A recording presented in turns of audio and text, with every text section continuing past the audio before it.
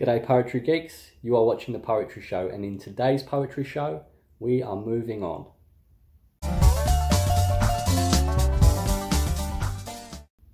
So first I want to say thank you for being patient with me, it's been a long time waiting to start off season 3 but I've got some news for you. There is going to be no more poetry show on YouTube. In fact, if you're watching this video on YouTube, this will be the last poetry show video you see on YouTube, unless you go and check out the previous episodes. Now, what's that for? What's the reason for that?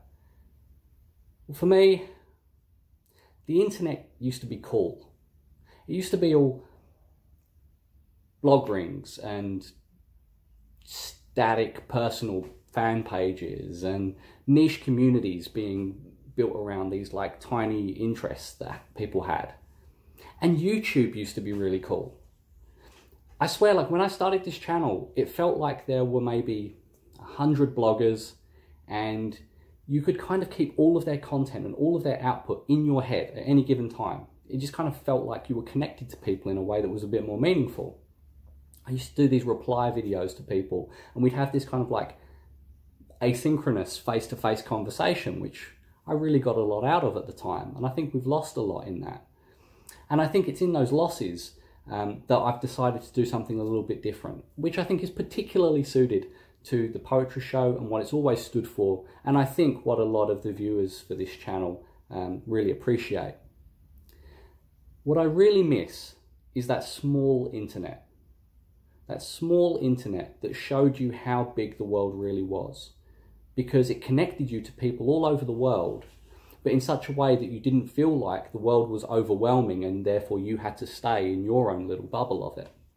I think it really helped us break out in a way that I think the modern internet is kind of stopping us from doing. But you see, it doesn't have to be like that. There's a movement happening right now. It's been going on for a couple of years called the Fediverse. Now, if you haven't heard of that, it's going to sound a bit weird. But essentially what the Fediverse is, is this idea of a decentralized internet. When we think of the centralized internet, we think about these big corporations that own the handful of websites that you go on. In fact, there's that joke going around at the moment that there's only four websites around at the moment and each of them contain only screenshots of the other three.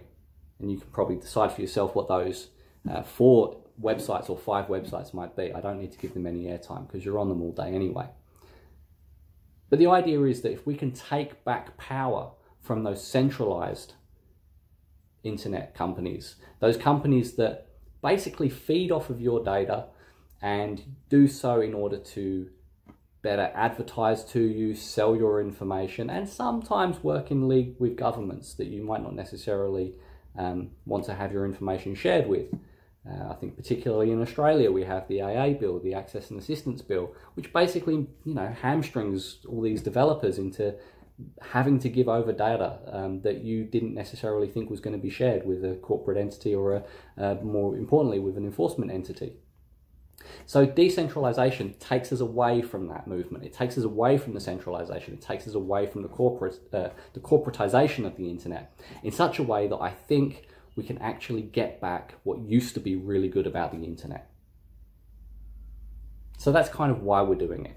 What does that look like practically for you? Well, nothing really. The videos will still exist. You'll just have to go to a different URL to find them. Now you might be asking, what do I think this has to do with the poetry show?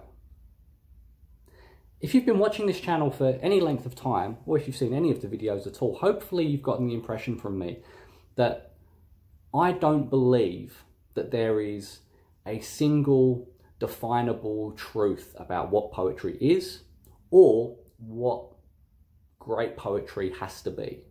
You know, I don't think there should be a single arbiter of taste when it comes to poetry. I think if you have a little niche of poetry that you're really into and for whatever reason it speaks to your soul in a way that's meaningful, then that's it. That's all it needs to be. Nobody absolutely nobody gets to tell you that that isn't poetry, that it isn't creative, that it isn't nourishing, or that it's not important. Because you get to decide that. That is the absolute one single truth and beauty about poetry. A lot of people hate poetry. And they hate poetry often because they were taught it in a school in a way that did it very poorly, that told them that there were definite readings for things, that there were absolute standards to which things must be held. And that idea, that idea of absolutes and there being a single source of truth, is an argument for centralization. All of the poetry exists in this bucket, and if you've got something that doesn't belong in this bucket, then it's not poetry.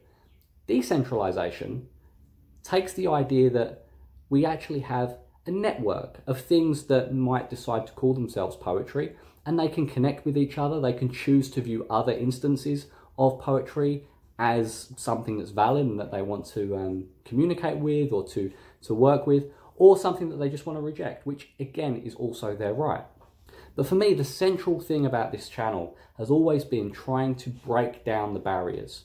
And unfortunately for me, I think one of the reasons I found it hard to continue doing this channel on YouTube is that YouTube, YouTube itself kind of becomes this kind of personality cult. And you get all of these metrics that tell you like how your videos are performing and when people turned off and and that's useful if you're trying to build a brand. But like who wants to build a brand? Certainly not poets. I mean, poets want to get paid, don't get me wrong, and they should get paid. If people provide something that nourishes your soul in a way that you find meaningful, if somebody enriches your life, then why wouldn't you pay them for that? I just don't necessarily think that internet mattresses are the best source of income for poets. So, I want to stop doing it. I want to stop chasing branding.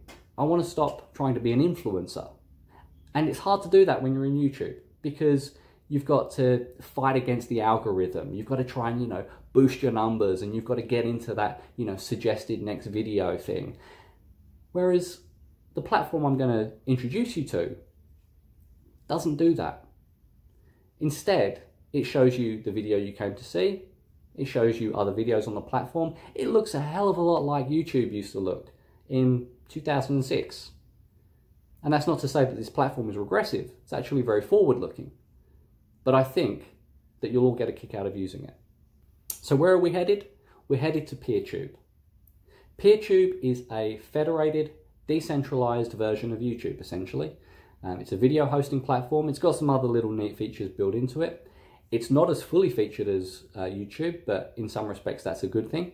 I'm a little bit wary about some of the moderation tools that exist for it, so that might be something we have to feel out for ourselves. But I have to say that moderation on the YouTube channel um, for Poetry Show has never been an issue. Uh, I think people who seek out poetry videos generally are better people. So that speaks well of you if you're watching this.